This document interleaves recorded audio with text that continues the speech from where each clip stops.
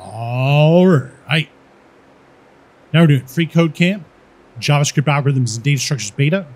Learn basic string and array methods by building a music player. Step 55. All right. So if we check closely, we'll see the currently playing song is not highlighted in the playlist. So we don't really know which song is playing.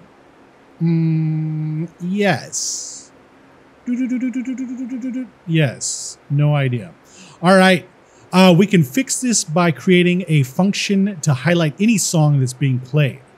Using an arrow syntax, we're going to create a highlight current song function. And inside the function, we're going to use query selector all to get the playlist class, pardon me, playlist song class element and assign it to a playlist songs elements constant. All right. So we'll start off with const highlight current song. All right. That's going to be our arrow syntax. We're going to have that equal an empty set of parentheses like this. Then we're going to have the arrow. And then we'll have the object. Let's cap it off with a semicolon while we're at it. So we don't have to go back later. Bring that down.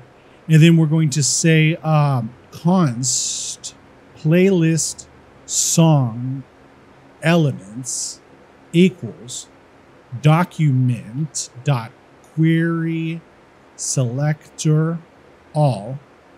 And then inside of here, we're going to have some quotes and we're going to be looking for the uh, playlist song class. So dot playlist hyphen song. And then let's cap that off with a semicolon. All right, so let's uh, check the code. Looks good. And submit it. All right. Now we're on to step 56. And we'll see you next time.